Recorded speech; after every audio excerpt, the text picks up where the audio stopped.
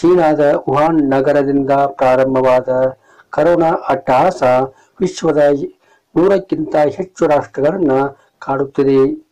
ಚೀನಾದಲ್ಲಿ ಅತ್ಯಧಿಕ ಜೀವಗಳನ್ನು ಬಲಿ ಪಡೆದ ಈ ಮಹಾಮಾರಿ ಕರೋನಾ ತಾನು ಆಕ್ರಮಿಸಿದ ಇತರ ರಾಷ್ಟ್ರಗಳನ್ನೇನು ಬಿಟ್ಟಿಲ್ಲ.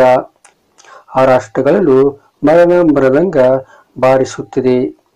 ಜನ ಆತಂಕದಲ್ಲಿಯೇ ಜೀವಿಸುವಂತೆ ಮಾಡಿದೆ. ಹೊರಗೆ ಹೋಗುವುದಕ್ಕೂ ಹಿಂದೆ ಮುಂದೆ ನೋಡುವಂತ ಸ್ಥಿತಿ ನಿರ್ಮಾಣವಾಗಿದೆ. ಇಲ್ಲಿ ಈ ಮಹಾಮಾರಿ ನಮಗೂ ಅಂಟಿಕೊಂಡು ನಮ್ಮನ್ನು ಪರದಾಡುವಂತೆ ಮಾಡಿತು ಎನ್ನುವ ಭಯ ಪ್ರತಿಯೊಬ್ಬರಲ್ಲಿಯೂ ಇದೆ.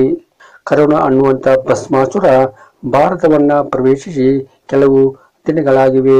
ಭಾರತೀಯರಿಗೂ ಭಯ ಆವರಿಸಿದೆ. ಹಾಗಾದರೆ ಭಾರತದ ಸ್ಥಿತಿ ಚೀನಾದಂತೆ ಆಗಿಬಿಡುತ್ತಾ ಎಂದು ತಮ್ಮ ಮನಸ್ಸಿನಲ್ಲಿ ಅಂದುಕೊಳ್ಳುತ್ತಿದ್ದಾರೆ ಜನ. ಹಾಗೆಲ್ಲ ಏನಿಲ್ಲ. ಯಾರು ಭಯ ಪಡುವಂತಹ ಅಗತ್ಯ ಇಲ್ಲ. ಚೀನಾದಲ್ಲಿ ಮತ್ತು ಇತರ ರಾಷ್ಟ್ರಗಳಲ್ಲಿ ತನ್ನ ಅಟ್ಟಹಾಸ ಮೆರೆಯುತ್ತಿರುವ ಕೋವಿಡ್ ನೈನ್ಟೀನ್ ಭಾರತವನ್ನ ಗಡಗಡ ನಡುಗಿಸಿಬಿಡುತ್ತದೆ ಎಂದು ಜನರಲ್ಲಿ ಭಯ ಇದೆಯೇನೋ ನಿಜ. ಆದರೆ ಕರೋನಾ ಎಂದರೆ ಏನು? ಆ ವೈರಸ್ ಮನುಷ್ಯನ ದೇಹದಲ್ಲಿ ಸೇರಿಕೊಂಡರೆ ಕಂಡುಬರುವ ಲಕ್ಷಣಗಳು ಯಾವುವು? ಅದು ಬಾರದಂತೆ ನೋಡಿಕೊಳ್ಳುವ ಮುಂಡೆಚ್ಚರಿಕೆ ಕ್ರಮಗಳು ಯಾವುವು? ಅಕಸ್ಮಾತ್ ಅದು ಮನುಷ್ಯನ ದೇಹದಲ್ಲಿ ಕಂಡು ಬಂದರೆ ತಕ್ಷಣ ಏನು ಮಾಡಬೇಕು ಎಂಬುದನ್ನು ತಿಳಿದರೆ ಚಿಂತೆ ಪಡುವ ಅಗತ್ಯ ಇಲ್ಲ. ಸದ್ಯಕ್ಕೆ ನಮ್ಮ ದೇಶದಲ್ಲಿ ನೂರಕ್ಕಿಂತ ಹೆಚ್ಚು ಪ್ರಕರಣಗಳು ಪತ್ತೆಯಾಗಿವೆ. ಇಲ್ಲಿ ನಾವು ಗಮನಿಸಬೇಕಾದ ಮುಖ್ಯ ಸಂಗತಿ ಎಂದರೆ ಕರೋನಾ ವೈರಸ್ ಯಾರಲ್ಲಿ ಕಂಡು ಬಂದಿದೆಯೋ ಅವರು ಬೇರೆ ದೇಶದಿಂದ ನಮ್ಮ ದೇಶಕ್ಕೆ ಬಂದವರು. ಆ ಜನರ ಸಂಪರ್ಕದಲ್ಲಿ ಇರುವ ಆ ಕುಟುಂಬದ ಸದಸ್ಯರು. ಆ ಜನರ ಸಂಪರ್ಕಕ್ಕೆ ಬಂದಾಗ ಇನ್ನೊಬ್ಬರಿಗೆ ಹರಡಬಹುದು ಎನ್ನುವ ಭಯ. ಆದ್ದರಿಂದ ಸರ್ಕಾರ ವಿದೇಶದಿಂದ ಬರುವ ಎಲ್ಲ ಪ್ರಯಾಣಿಕರನ್ನ ಪರೀಕ್ಷಿಸಿ ಹೊರಗೆ ಬೆಳೆಯಲಾಗುತ್ತದೆ. ನಾನು ಹೇಳುವ ಮುನ್ನೆಚ್ಚರಿಕೆ ಕ್ರಮಗಳನ್ನು ಚಾಚು ತಪ್ಪದೆ ಪಾಲಿಸಿದರೆ ನಾ ಹೇಳ್ತೇನೆ, ಖಂಡಿತ ಕರೋನಾದಿಂದ ಬಚಾವ್ ಆಗಬಹುದು. ಯುನಿಸೆಫ್ ವರದಿಯ ಪ್ರಕಾರ, ಕರೋನಾ ವೈರಸ್ ನಾಲ್ಕುನೂರರಿಂದ ಐದುನೂರು ಮೈಕ್ರೋ ಸೂಕ್ಷ್ಮ ವ್ಯಾಸದ ಜೀವಿಯಾಗಿದೆ. ಇದು ಗಾಳಿಯಲ್ಲಿ ಪ್ರಸಾರವಾಗುವುದಿಲ್ಲ. ನೆಲ, ವಸ್ತುಗಳು ಮತ್ತು ಮನುಷ್ಯನ ದೇಹದ ಮೇಲೆ ಇರಬಲ್ಲದು. ಯಾವುದೇ ಉತ್ತಮ ದರ್ಜೆಯ ಮಾಸ್ಕ್ ಅನ್ನು ಧರಿಸುವುದು ಉತ್ತಮ. ಕರೋನಾ ವೈರಸ್ ವಸ್ತುಗಳ ಮೇಲೆ ಹನ್ನೆರಡು ಗಂಟೆಗಳ ಕಾಲ ಜೀವಿಸಬಲ್ಲದು. ಕರೋನಾ ರೋಗಿಗಳ ಸಂಪರ್ಕಕ್ಕೆ ಬಂದ ಎಲ್ಲ ವಸ್ತುಗಳನ್ನು ಡಿಟರ್ಜೆಂಟ್ನಿಂದ ಶುಚಿ ಮಾಡುವುದು ಅಗತ್ಯ.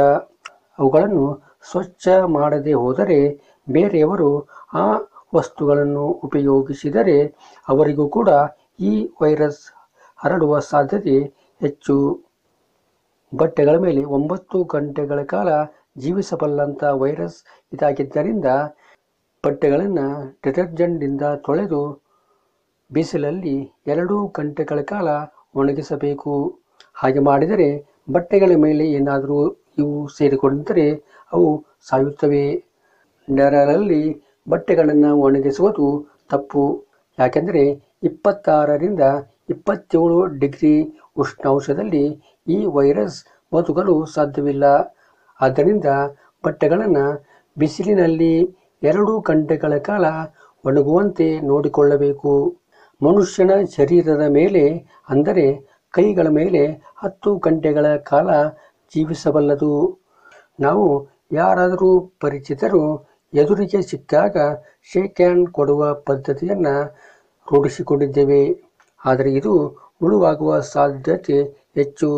ನಾವು ಸೇಕ್ ಹ್ಯಾಂಡ್ ಮಾಡುವ ಬದಲು ಕೈ ಜೋಡಿಸಿ ನಮಸ್ಕರಿಸುವುದನ್ನು ರೂಢಿಸಿಕೊಳ್ಳಬೇಕು. ಅಕಸ್ಮಾತ್ ನಾವು ಯಾರನ್ನಾದರೂ ಸ್ಪರ್ಶ ಮಾಡಿದರೆ ತಕ್ಷಣವೇ ಸಾಬೂನಿನಿಂದ ಅಥವಾ ಸ್ಯಾನಿಟೈಸರ್ನಿಂದ ಸ್ವಚ್ಛವಾಗಿ ಕೈ ತೊಳೆಯಬೇಕು. ನಾವೆಲ್ಲ ಅಂದರೆ ಕರ್ನಾಟಕದಲ್ಲಿ ಇರುವವರು ಸೇಫ್ ಝೋನ್ನಲ್ಲಿ ಇದ್ದೇವೆ ಎಂದು ಹೇಳಬಹುದು. ನಮ್ಮಲ್ಲಿ ಮಧ್ಯಾಹ್ನದ ಬಿಸಿಲು ರಣಗುಡುತ್ತದೆ ಇಂತಹ ವಾತಾವರಣದಲ್ಲಿ ಕರೋನಾ ವೈರಸ್ ಇರಲು ಸಾಧ್ಯವಿಲ್ಲ. ಸಾಧ್ಯವಾದಷ್ಟು ಬಿಸಿಲಿನಲ್ಲಿ ಇರುವುದನ್ನು ರೂಢಿ ಮಾಡಿಕೊಳ್ಳಬೇಕು.